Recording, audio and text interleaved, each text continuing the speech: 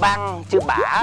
Nói chung là nó, nó có người á thì anh tài xế đọc là phát ảnh chỉ cho phát âm là chữ bả.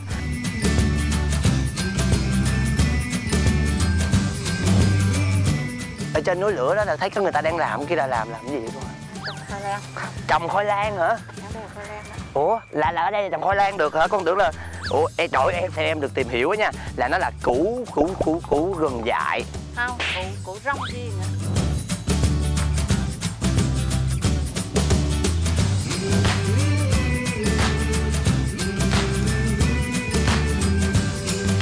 trời ơi, hồi đó giờ thấy khoai lang trồng là trồng ở dưới đồng bằng nó khác. Nó trồng trên luống, còn bây giờ là mới thấy trồng trên cái triền núi.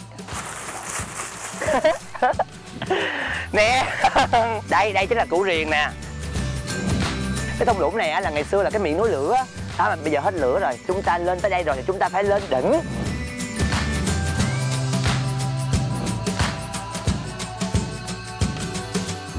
Cái cây cỏ hồng này còn được gọi là cái cây là cỏ đuôi cáo. Các bạn nhìn nè đó nó giống như con cáo còn mặt tôi giống như con quỷ.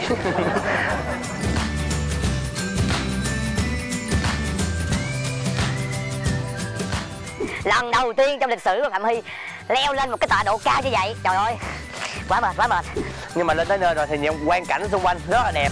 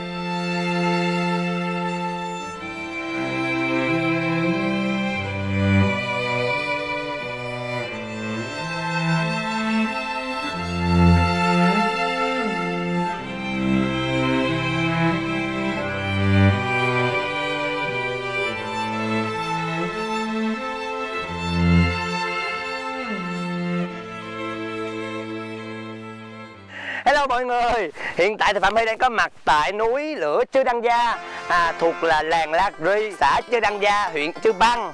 Ờ, Chư Băng, Chư Bả. Nói chung là nó, nó có người á thì anh tài xế đọc là phát ảnh chỉ cho phát âm là Chư Bả.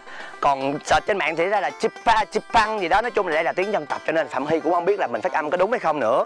Nhưng mà các bạn thấy đó đó phía sau chính là ngọn núi lửa Chư Đăng Gia. Và trên đường đi vô đây á thì à, nếu như các bạn mà đi trúng ngay cái dịp tầm khoảng là độ là cuối tháng 10 tới tháng 12 á trời ơi đẹp dữ lắm.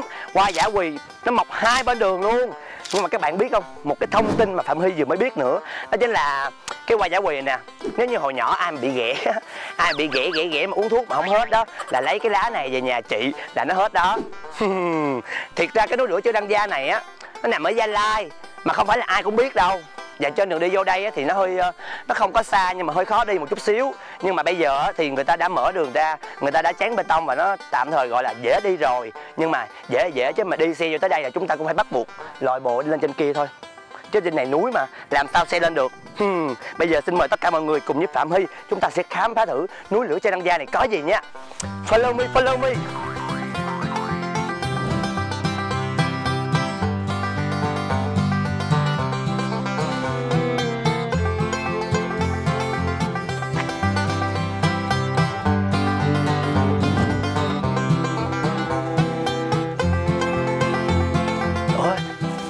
Cô ơi cho con hỏi cô. Ủa trên này đường lên đây là mình đi lên núi lửa trên đăng gia hả cô?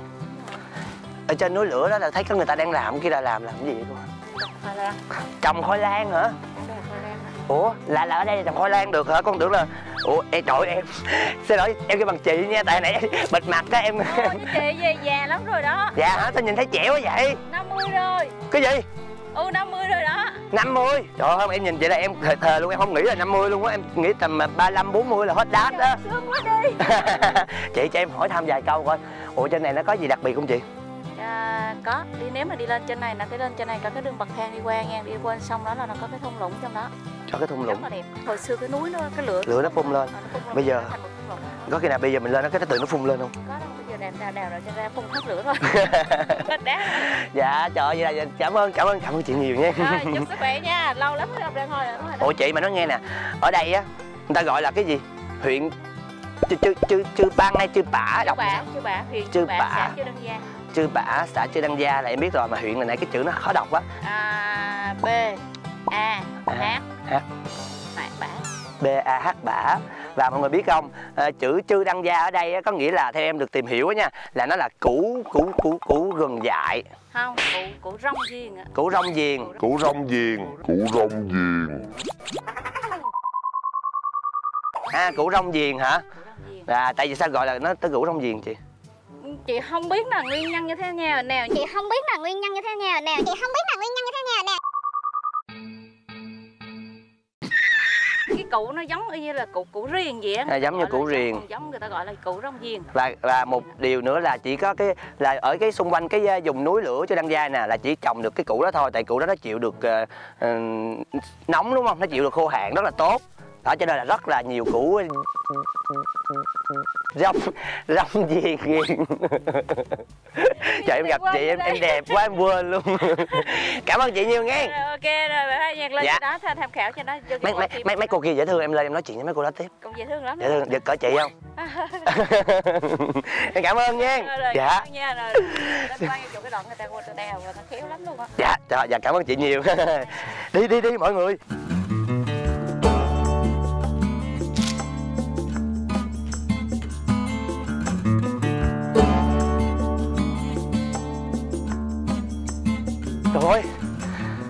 sao nhìn thấy nó có chút xíu mà sao đi hoài?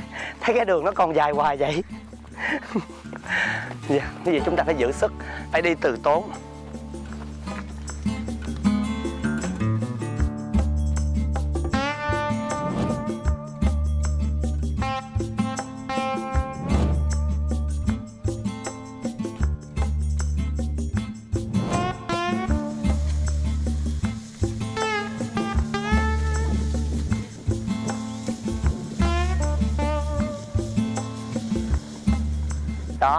Không? Thấy không? Có cái chị chị đang xách cái nguyên một cái cái bao khoai lang. Bự thiệt là bự luôn. Trời ơi hồi đó giờ thấy khoai lang trồng là trồng ở dưới đồng bằng nó khác. Thấy trồng trên luống. Còn bây giờ là mới thấy trồng trên cái triền núi. Đó thấy chưa? Nhìn từ xa làm gì biết đó là khoai lang ha.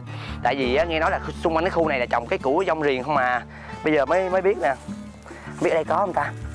Nè đây nè đây nè. Đây là cái lá của khoai lang nè. Trời ơi bây giờ muốn đi lên nó xin vài củ về biết ta cho không ta? Hơi kỳ ha không tình ta chụp người ta ờ, trồng cực khổ từng lên xin chắc cũng quánh trong mặt. Thôi bây giờ chúng ta sẽ cùng nhau đi lên trên cái à, cao nhất của cái ngọn núi Chư Đăng Gia này để xem thử ở trên đó có gì đặc biệt không nha. Đi đi đi đi. Đi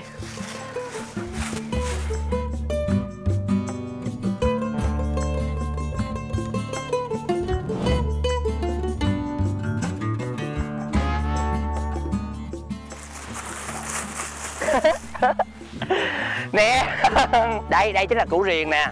Đó cái củ này là chịu ờ, hạn rất là tốt cho nên người ta trồng ở đây rất là nhiều. Hồi nãy lúc mới lên á cái này là không phải là tôi cố tình tôi hái chơi bậy bạ đâu nha. Lúc này tôi mới lên tôi nhìn này nó nó nó nó nó nó, nó, thu hoạch hết trơn rồi. Tôi tưởng là người ta còn sót lại. Ai vậy không phải. Cái này người ta mới đốn cái lá ở trên thôi để cho nó khô rồi người ta mới đào lên sâu đây nè củ riềng nè thấy chưa? Đó. Còn đằng sau lưng của phạm huy đó chính là một cái thung lũng. Xung quanh là ha những ngọn núi bao quanh luôn. Cái thung lũng này á, là ngày xưa là cái miệng núi lửa. Đó mà bây giờ nó nói chung là hết là nãy chị kia chỉ nói là bây giờ hết lửa rồi. Bây giờ chúng ta lên tới đây rồi thì chúng ta phải lên đỉnh. Chúng ta tiến lên trên kia thôi.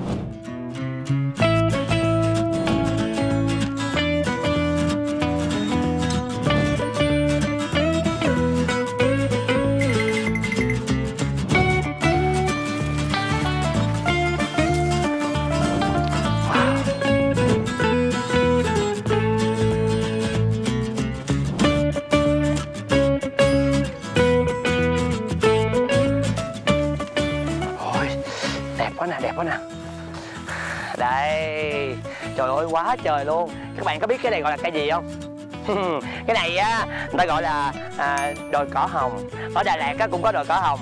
Ở đây cũng có là thấy chưa? Quá trời luôn. Và cái à, bức cây nha. Cái này á là đồi, cái cây cỏ hồng này còn được gọi là cái cây là cỏ đuôi cáo. Các bạn nhìn nè đó thấy chưa? Cái đuôi đó nè. Chó giống như là con cáo cây chưa đó.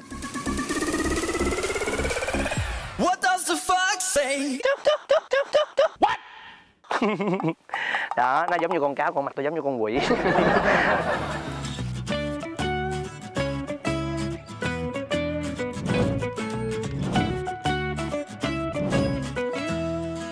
người ta đã rất là tâm lý khi mà làm những cái bậc thang để cho người, những người mà leo núi đi đỡ mệt. Bên cạnh đó đặt một cái ghế đá ngay dưới một cái bóng cây. Trời ơi, rất là mát và rất là hợp tình hợp lý. Cho nên nãy giờ ngồi đây á, trời nó đã gì đâu á. Còn ăn xa là nhà người dân người ta ở, xong người ta phân ra từng cái ô vuông ô vuông để người ta canh tác trồng rất là nhiều thứ. Đó, thấy chưa? Còn xa thiệt là xa ngoài kia đó là thành phố Pleiku à, tỉnh Gia Lai.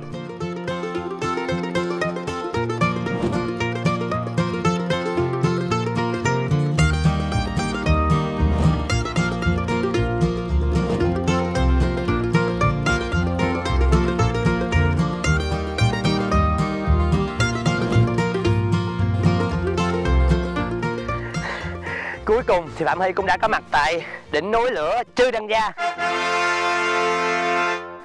Ở đây các bạn thấy không?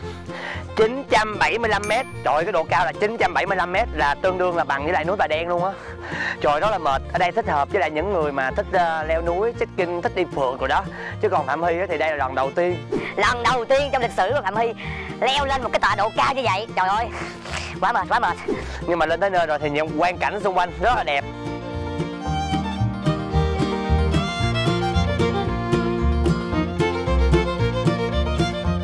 đó và công tình lên tới đây rồi, đâu có bỏ qua vậy được. Mình sẽ đứng ở đây, mình sẽ tạo dáng, đó, mình sẽ tạo dài dáng, đó, mình chụp hình, mình check in, mình sống ảo.